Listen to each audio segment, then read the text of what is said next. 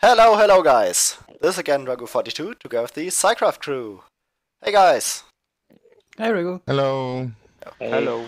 Yeah, so we got our newest member Eta here with us today. And as you can see, today it's all about chorus fruit. Or in that case, more about the flowers. So what we've got here is just on a basically random end island, a little chorus flower farm. Um, because yeah, we need to get some starting chorus flowers and the thing is basically built to well make it as easy as possible to get a lot of flowers and yeah in the end we just kill the stems here and quickly replant.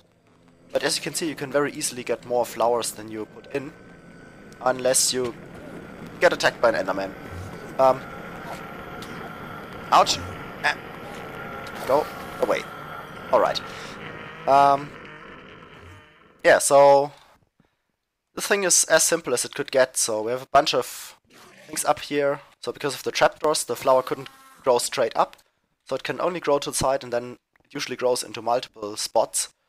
Um, but yeah, we get at least one flower back, so we don't really make a loss. But quite often, we get some additional flowers. And that's pretty much all we need this place for. Well, of course we have a good use for the flowers we're collecting. And this wouldn't be, well, quite our style, would it? So, yep, we just keep planting some, getting some more flowers.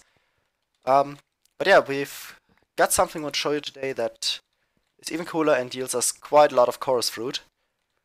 And unless someone has uh, something else to say about this place, I think we should head right over to the actual big farm and show you what's going on there. Alright, now we are in our nether hub again, and well, at some point we finally fixed all the piston bolts here, um, so everything's now replaced also by a piston bolt, which was mainly work of D5, I think. Um, yeah, would be nice if we didn't have to rebuild things yet again once 1.12 arrives. Um, so yeah, dear Mojang, don't mess with us all the time. Gets kind of frustrating. Anyways, for now they're still working, so let's hop right into one of those. So this leads us normally to our furnace array, and well, makes sense to get chorus uh, fruit close to a furnace array, obviously. So let's hop out here. Yeah, so this translocator here was replaced by piston bolt. It's a shame, the old one was really nice. But we have a little side tunnel here. Well, kind of a fitting theme um, for a chorus flower farm. Or chorus fruit, I, I keep mixing those up. But yeah, let's... Well, we get flowers from it. Yeah, right, we actually make a small profit by now.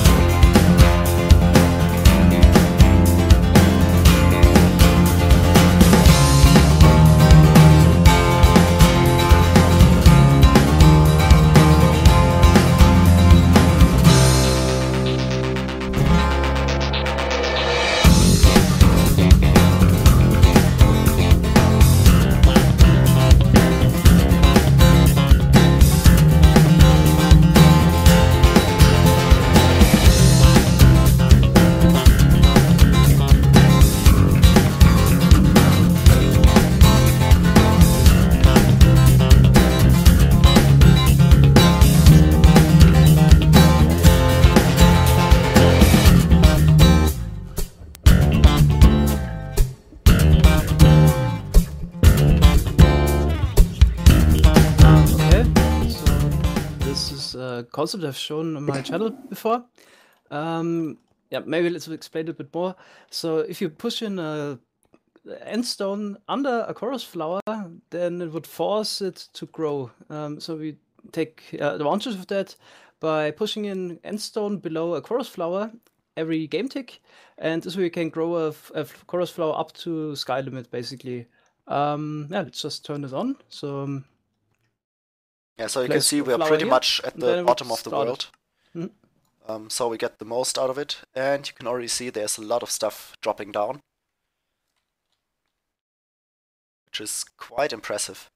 hmm Yeah, you, also get supplied with a new flower here, uh, so you can yeah keep planting. You can, can AFK here basically. So yeah, we're Oh, yeah. collecting a crap ton of uh, chorus fruit then. And we get a new one.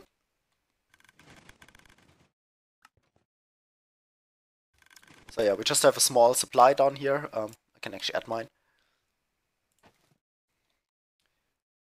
But yeah, this would now just consume the flowers, right? So Yeah, at the moment it does. we try to. Mhm. Uh, can someone drop one? So we just place it against the observer here, which then triggers the whole mechanism.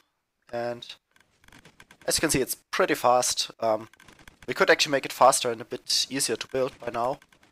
But yeah, this is still good enough for us. This was the first version. It's it's still good enough. We get 180,000 chorus fruit from this per hour.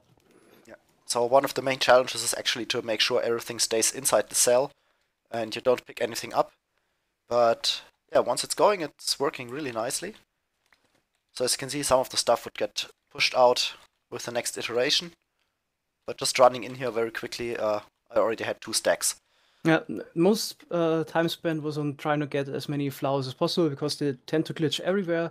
But now we get a return rate for, of above 99%. Yep.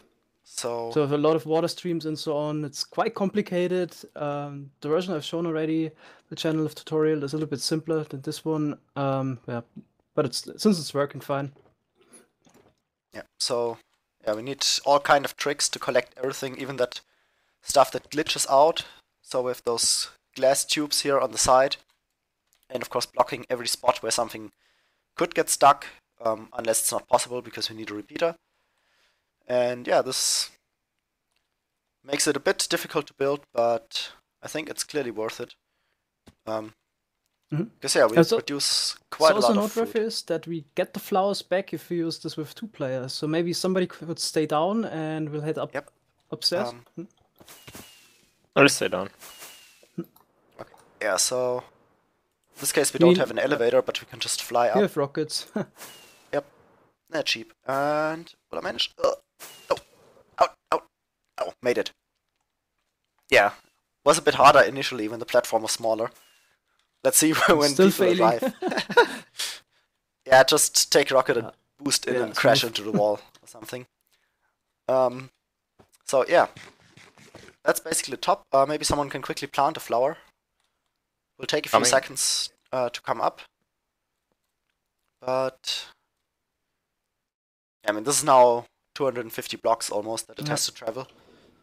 I mean, this gets sent once every game tick, but still takes quite a while. Yeah, it takes like 12 12? seconds or so. Hmm.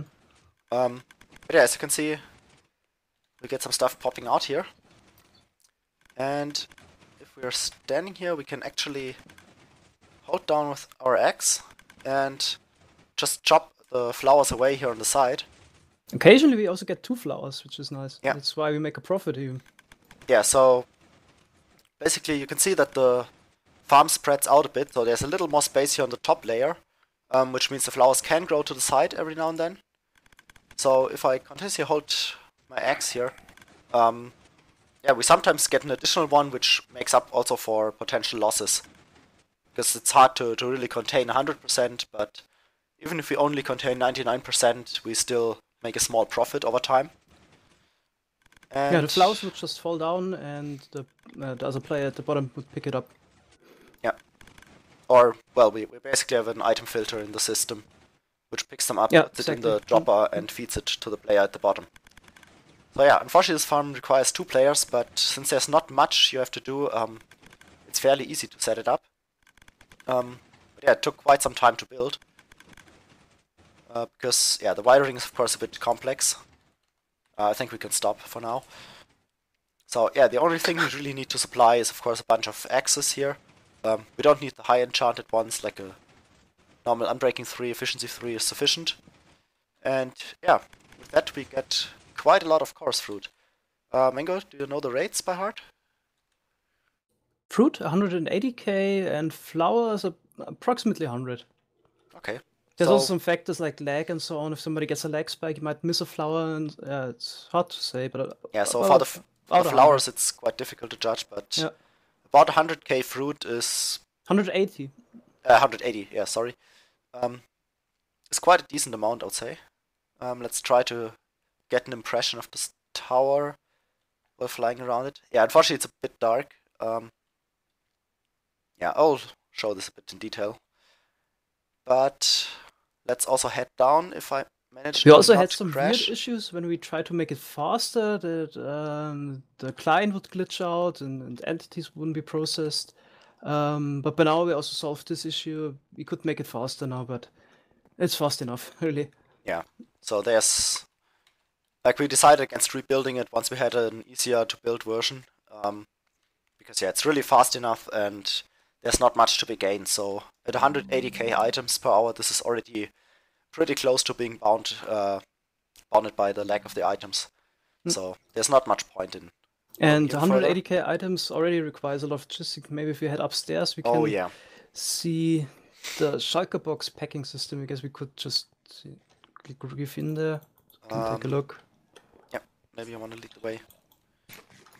Oh, Uh, box a quick also. side note, Ah. the reason why it's so dark around the tower is because we made the roof so we don't have uh, as much light updates or don't have light lag. Yeah. So yeah, that's a pretty large. Can uh, can somebody run the farm a little bit so we can see the items coming in? Yeah, that. Mm. Okay, enemies going. So yeah, things are coming up here from an item elevator. And once enemy gets the farm going, should be able to see this thing in action. Yeah, you can see it down there. Now they're in the item elevator. So yeah, items are coming up now. Uh, it's just Mango's item elevator here with the trapdoors, which works pretty fine. Um, oh, we got an endermite. Get away. So, now for the first few flowers, of course, the first hoppers can pick it up easily. But, oops, as you can see, they quickly fill up and, well, it's gonna fill up uh, much faster than the hoppers could process things. So we need to parallelize this quite a bit. Um, so how Mhm. many hoppers do we have here in total? Uh, that's 20. Yep. So that's was it 50 items per second that they could process, and yeah, we pretty much need that. Yeah. So they all fill shulker boxes in parallel because with 180k you don't want to store this in regular chests. Why is there some gunpowder? Um, there was a creeper. I took care of it. um, It's not perfectly lit take care up of here, that. back here. Normally nobody goes here.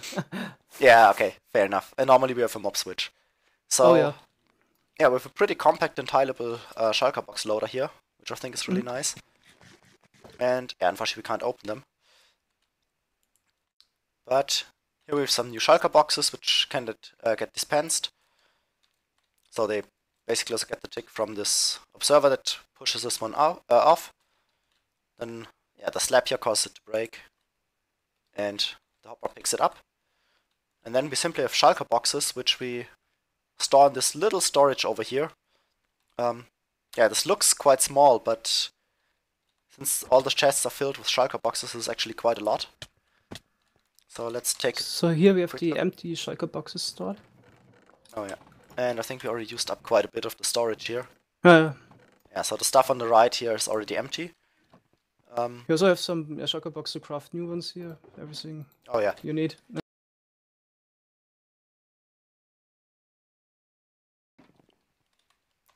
yeah. So everything gets stored here, and as you can see, this is nicely filled with chorus fruit. Uh, not quite full yet, but quite a lot of it is filled. We already smelted a lot, so yeah. Yeah. Yeah, that of course makes it quite convenient that we are so close to the uh, furnace array because we can just go through the nether portal, walk a few blocks, and we are at our big furnace array to smelt everything. Um, actually, we, we could fly up again and show how close they are in the overworld. Because they're almost next to each other. Oh, yep, just over here. So you might remember this one. The furnace arrays are quite old, with the charcoal maker here.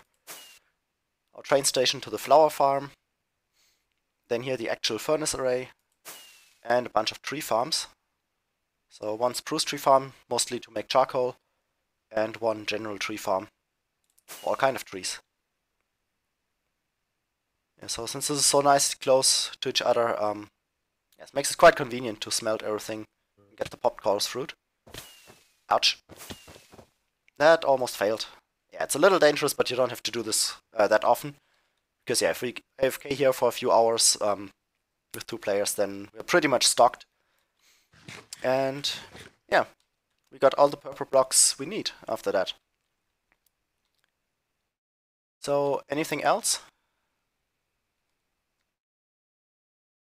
Anything that we forgot?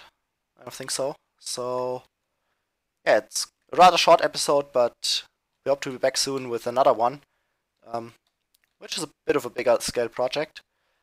But yeah, until then, hope you enjoyed and see you next time. Bye bye. Bye. Bye. Bye bye. Bye.